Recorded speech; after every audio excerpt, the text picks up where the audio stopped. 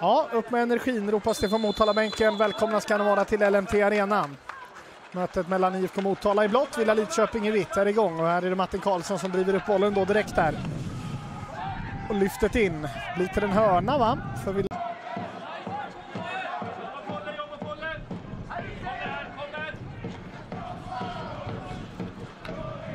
Här kommer läge för Broberg, Joel Broberg. Returen, Edlund 1-0. Kristoffer Edlund gör 1-0 för Villa.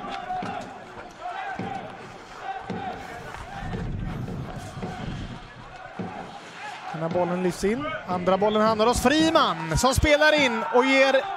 Ja, se där ja! Ludvig Johansson upp ett mål. Hur hamnade Ludvig Johansson så högt i banan? När han gör sitt.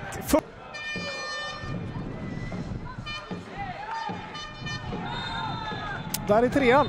Där kommer 3-0 när man håller sig framme påpassligt framför mål. Och är det inte Gustav Friman som är eh, sist på den?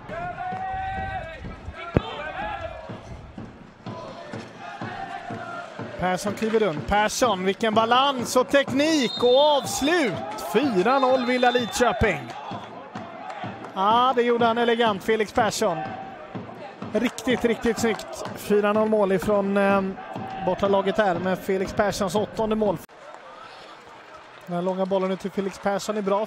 Persson kan eh, kliva runt hög och lyfta in den här och Tim Persson. Och då är det 5-0 för Villa Lidköping. Tim Persson.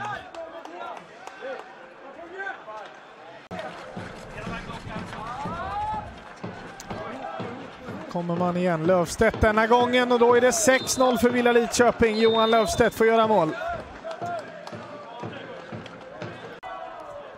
Från vänster ska det bli utdelning på hörnskyttet med. Hammarberg på mål i alla fall. Returen. Altonen. Vart är bollen? Där är bollen och bollen är inte i mål förrän... Nej, inte ens där. Bra gjort av Motala att stå pall. Och där kommer ändå sju mål. Och titta på Löfstedt så glad han blir.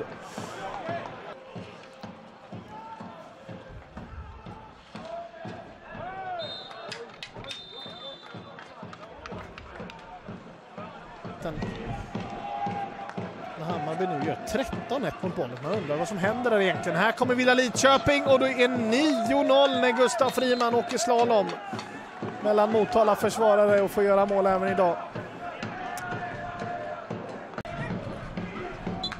skottet täck och huvuddomare Liljegren han eh, blåser av den här tillställningen.